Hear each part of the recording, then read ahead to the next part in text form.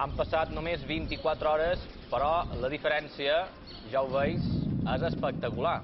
Torna a la calma al port de Solla després d'una de les majors tempestes que es recorden al municipi. Les rauxes de vent varen superar ahir els 140 km per hora. Avui no arriben als 25.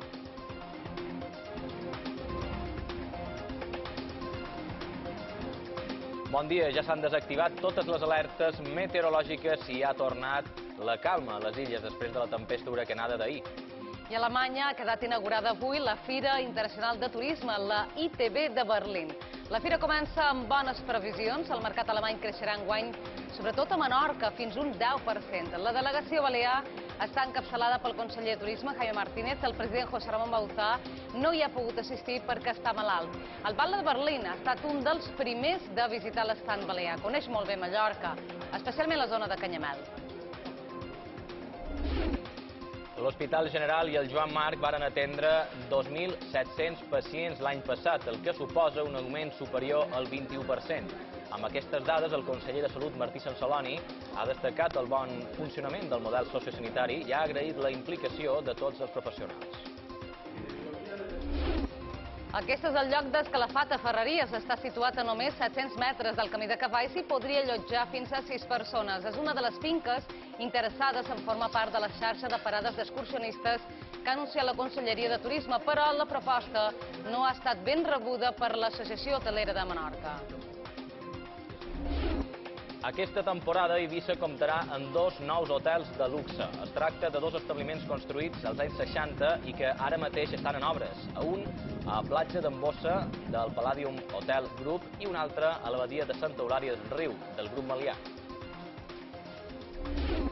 La Conselleria d'Economia ha presentat avui l'esborrany de la llei de comerç al Consell Assessor. Ara es crearan grups de feina per consensuar temes concrets com grans establiments, horaris i obertures en cada setmana.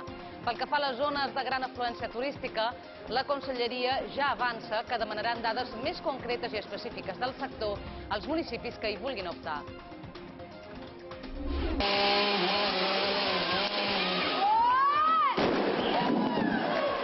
Avui matí han retirat el pi de Sant Antoni de Pollença que estava instal·lat a la plaça Vella des de gener. El tronc de 21 metres i mig d'alçada ha caigut, com heu vist, en una operació neta i que ha estat seguida per una multitud de pollencins. El dimecres de cendre toca tomar el pi, símbol de l'inici de la quarema.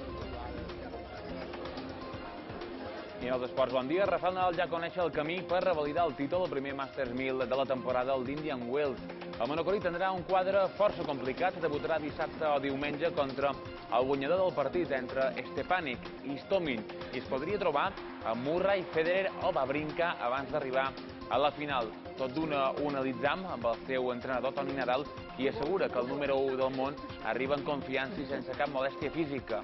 En motociclisme, Jorge Lorenzo tanca els entrenaments a Austràlia amb molt bones sensacions. Avui el mallorquí ha estat el més ràpid per tercera jornada consecutiva. I pel que fa al Mallorca, el curs celebra avui el seu 98 aniversari, mentre l'equip segueix preparant el partidàs de diumenge a Saragossa. Tomàs es perfila com a substitut a Tirinell al mig del camp. El brasiler ha estat sancionat, atenció, en quatre partits.